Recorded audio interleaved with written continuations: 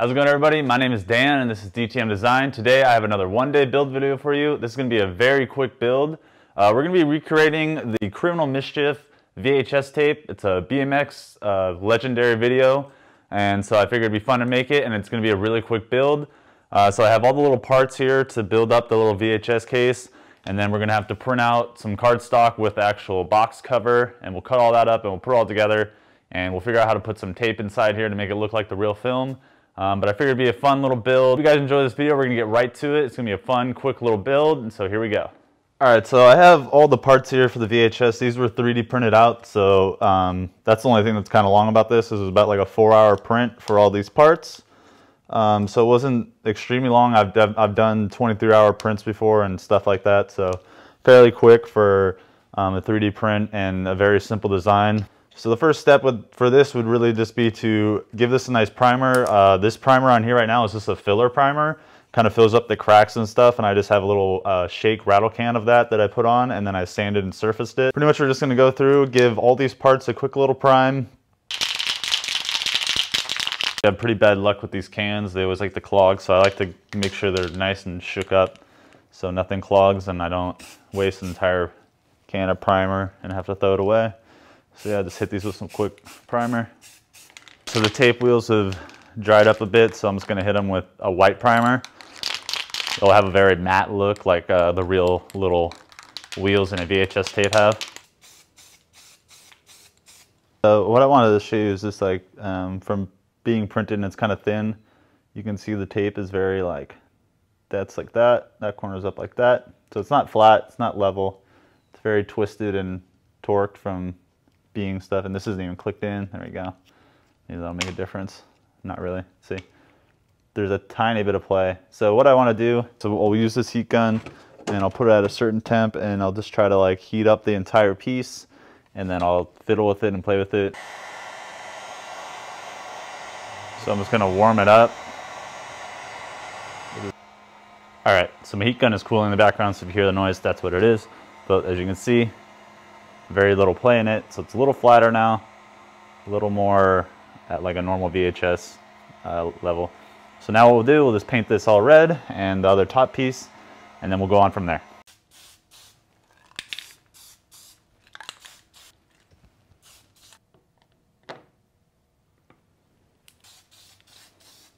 Painted red, it's a gloss paint. It's gonna take a long time to dry.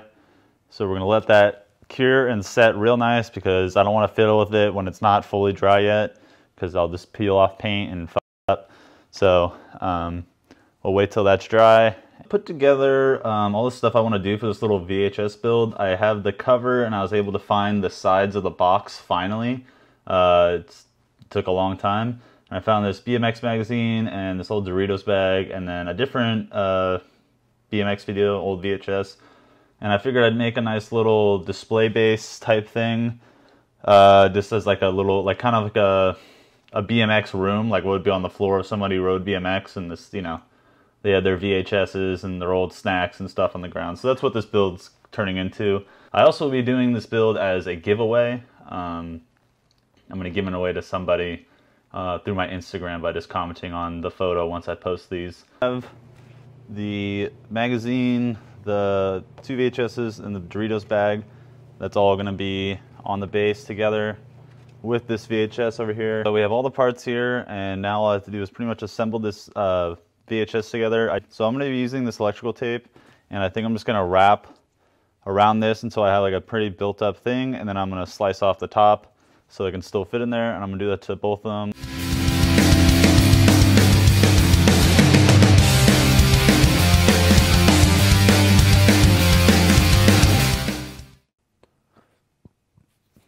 All right, so using the electrical tape, I got the uh, the tape uh, wrapped around the little wheels uh, effectively. And so I'm just gonna glue those in in a second, but first, before I do that, I'm gonna get a little bit of uh, some acrylic and just cover up these holes right here. And so we'll do that real quick, and then we'll put all this together, and the tape, the cassette tape will be glued together and ready to go.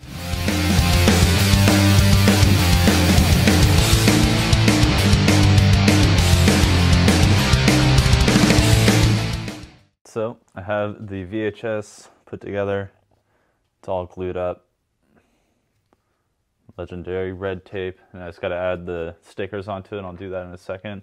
Uh, what I want to do is just cut this out um, and see if the VHS box that I made for it fits because lining it up, it looks like it's a little small, so I'm going to find out right now. And if I need to do any adjustments, I'm going to do that. And if I do go make some adjustments, I'll probably make this chip bag just a little bit smaller. It seems a little big, even though I compared the sizes um, on these things. But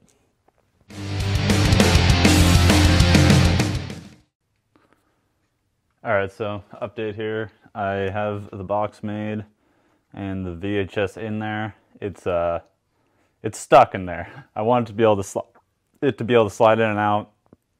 So all that extra detail in there is just lost unless someone rips it apart. So yeah, this is, uh, I'm just gonna leave it inside because it's kind of stuck. And we're just gonna live with it as a solid piece of an object, but that's it. That's the little, let me see if I can get a better, more lit up thing for you. That's the little Criminal Mischief VHS tape. Um, so now I'm gonna go ahead and like cut up the rest of the stuff and get that ready.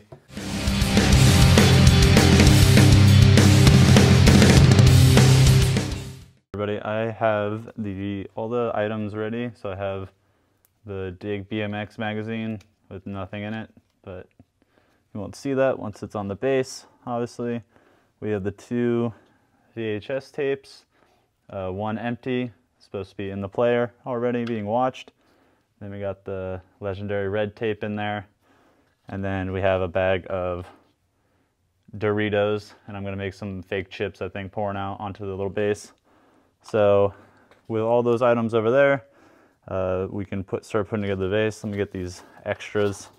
A lot of extra printouts here, um, mess ups, resizing, all that. So I spray painted some triangular shapes to represent Doritos. Uh, so I'll be adding those. So fill out the bag a little bit and then have a bunch spill out onto the floor of the base. So we have a cool little, somewhat realistic uh, little base scene.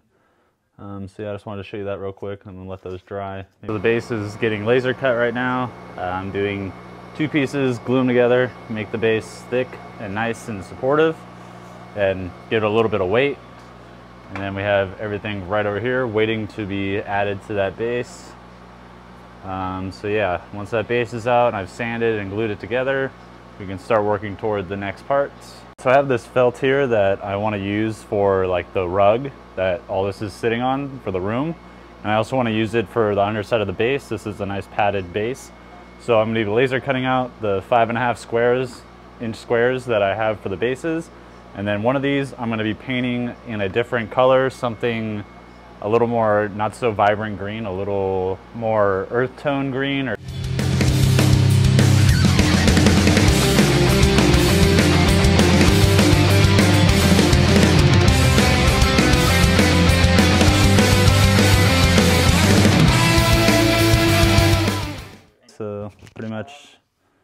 the base all laid out, put some chips pouring out of the bag. Found the positioning I wanted for everything. Maybe I'll add like a few more chips or something, and then all I gotta do is paint up this side real nice, and then take this piece of felt and put it on the bottom, so it's got a nice little base. But yeah, that's that build. It's pretty much done, so I'll show you some nice high quality detail shots of it, and we'll go from there.